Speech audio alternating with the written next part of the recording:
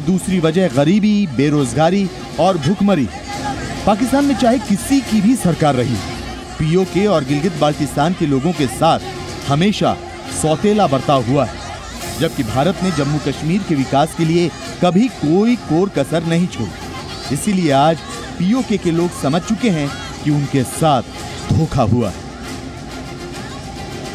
आज तल्ख हकीकत इस टाइम पाकिस्तान में ये बनी हुई है कि अगर इंडिया बॉर्डर खोल दे के पाकिस्तान आ सकता है तो आधे से ज़्यादा पाकिस्तानी वहाँ मर जाए हम अगर मोदी की अंडर में होगा तो हमें दो वक्त का रोटी मिल जाएगा। सब तंगा है इस मुल्क में। बॉर्डर को लो हम सब यहाँ से भाग जाएगा। इस विद्रोह को कुचलने के लिए पाकिस्तान ने वहाँ सेना और पैरा मिलिट्री फोर्सेज उतार दी। लेकिन जिस तरह के हालात हैं उसे देखते हुए यही लग रहा है कि अब फ़िलहाल वहाँ मामला आउट ऑफ़ कंट्रोल है।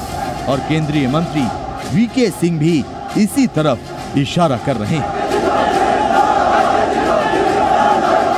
Bureau report, Zee Media.